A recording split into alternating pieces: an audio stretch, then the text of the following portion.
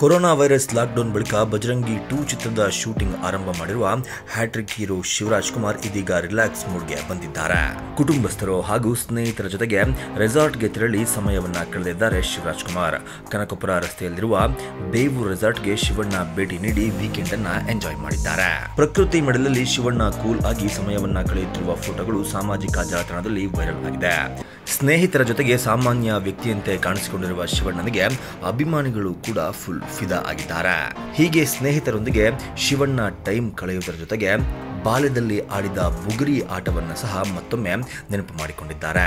ಬುಗುರಿಯನ್ನ ತನ್ನ ಕೈ ಮೇಲೆ ಆಡಿಸುವುದರ ಮೂಲಕ ಹಳೆಯ ದಿನಗಳನ್ನ ಮೆಲುಕು ಹಾಕಿದ್ದಾರೆ. ಅಷ್ಟಕ್ಕೂ ಶಿವಣ್ಣ ಬುಗುರಿಯನ್ನ ಎಷ್ಟು ಚೆನ್ನಾಗಿ ಆಡಿಸ್ತಾರೆ ಅನ್ನೋದನ್ನ ನೀವೇ ನೋಡಿ.